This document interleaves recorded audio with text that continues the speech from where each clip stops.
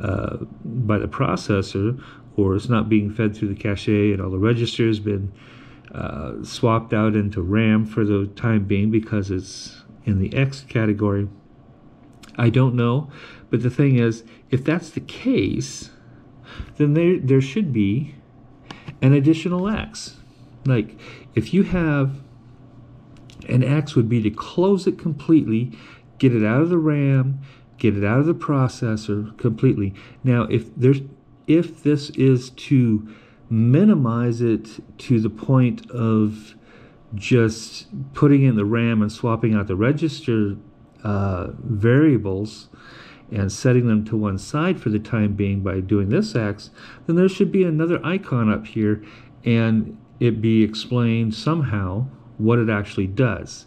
Now this minimize might be that it's actually running in the background. This obviously is a resizing of the window. But and this doesn't even include the category that's so annoying I have to keep coming back up here to do something if it's of the menu, which is really annoying to me, uh, which is why probably most people probably hit the full full size window, but then then you can see the menu as if it was part of the window itself at the top of the window. So it it should still, even with how people use it, it should actually get carried with the window, even though it's in a smaller window there. It should still function within that application without having to jump between the window and say, okay, that's the application I want to use. Am I in that application menu system? I have to double check that. And it's a lot of back and forth of eye movements to figure out where you're at. And it's a big pain in the butt. Okay, and now I think I'm going to get out of this. uh, no, let me quit Safari. This is the other thing. In order to get out of, I actually have to do, actually have to access that menu to get out of Safari to where this dot is not underneath the icon here, as far as it being loaded. Um, so, and this should actually have some kind of menu like this just like this if you hold the button down it should pop up whatever the menu is and it needs to be there right? And you might have the options. It might okay this says remove from dock but it should have other items for this holding down the uh, or in the Windows viewpoint hold down the left click for a moment or two to get that menu. And also there is nothing in the background uh, that's one of the things that if you teach somebody that's brand new to operating systems, they say, okay, well, try left clicking to find the application. See, you left click on this and you go to the applications list for the entire thing, and voila, you have an entire menu there um, of everything that's on the computer. Then the newbies of the computer system can actually get around the system a lot easier, which just explains why they have such a small percentage of the market. Because it's about the newbies going in and being able to uh, get in and around the operating system. And it's not very effective. It's not very effective to do that. Where if you do a right click in other places, but in this case, it would just be, you know, click on it, hold down the mouse key, and it should pull up that short menu of which you can do whatever operations you want to do with it. Um, like this one here. See, this one doesn't do it either. You can click on it and move it, but it won't work. Um, I like this little Apple icon when you compare it to these icons down here. If they just made it a bigger icon, right? And put it down here on the dock somewhere. Now, I was thinking, you know, if you put the Finder versus having the Finder pull up the applications, but this is sort of your, you know, exploring your desktop type of thing to see how things work on that, which is okay. I'm not saying it's, uh, I'm not saying that this particular system is wonderful. As far as this, but it's okay. I mean, I can look at it and be able to get around.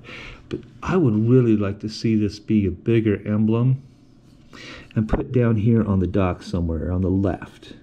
Probably, um, you could put it on the right, I suppose, but you know, probably close to where the finder would be, I would think.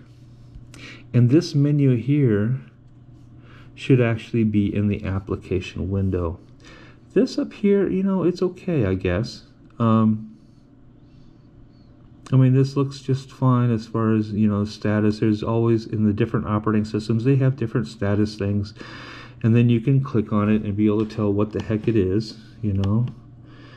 Or the search, you can figure out what that is. And, you know, it's just go up there and click on whatever it is to figure out the different icons or what they mean or, you know, that it's there or not. Um, you can do all that, which is all fine and dandy, but um, but yeah, this this menu, this whole actually this entire left side is funky enough that this apple should probably be in the dock, or put the dock up here and put this menu, these menus, inside the applications. See now, if you put this menu inside the applications like I was talking about, and this apple, this apple's kind of cool.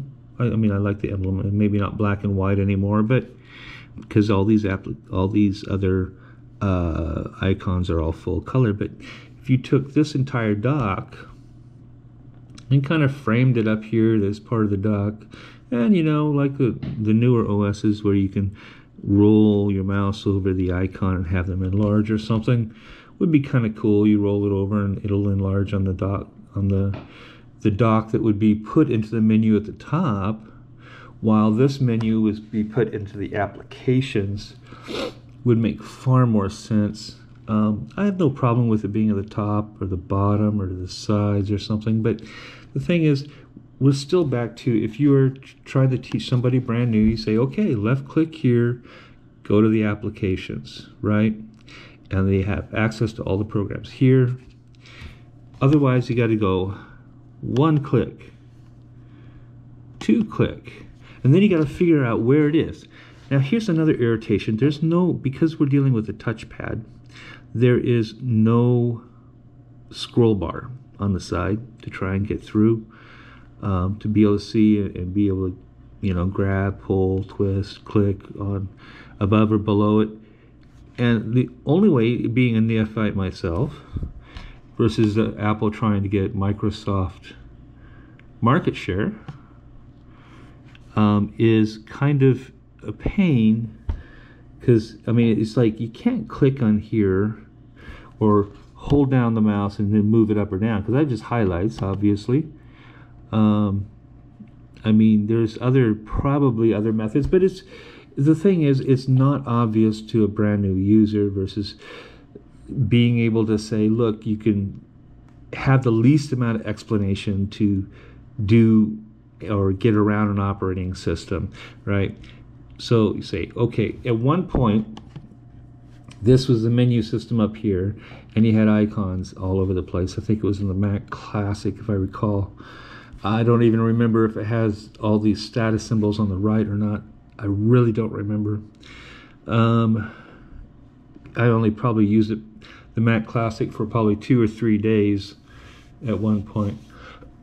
not very much, and I it wasn't really uh, great. Although it did, it was definitely a step up in having nice artwork for the icons compared to Windows 3.0, especially god awful artwork and definitely a step above doing the text interfaces, which is still there, and we'll probably talk about text interfaces and shells and telnet a bit here in a different episode. But here it is really, really annoying to have this menu separate. And the Apple, the Apple looks like is actually for the entire operating system and it would be a good you know left click menu button if you will or um, you don't actually have to hold it down, but um, I, I don't have a problem with that Apple or even Apple symbol. I don't really care. It's really about the interface itself is really annoying to have this menu not be part of the window that's drawn up here. And I know it's part of the programming of the uh, object that you are programming that you just pass these struct variable to this menu versus the window drawing menu there's no real difference as far as programming patterns. And it's a lot easier rather than checking back and forth. And i know this is a very classic uh, classic mac style menu up here and people do like to keep things uh, you know the historically patterns of what they like or whatever. But the reality is the number of eye movements you have to do back and forth to double check everything to make sure you get the right application and make sure you get the right menu up there it's just it takes too much time. Just like clicking on the menu key or the icon key to find out the menu you only need to click on it once slide it through and click on the app on the uh, you know item that you want to open whatever it might be obviously i'm not connected to the cloud at the moment so um, and this this is no critique on the cloud. There's no critique on that. But this particular menu system has been around for a long time. Horribly, horribly annoying. Anyway, and I think that will be it for this particular episode. And this is Michael Ray of Silicon Valley.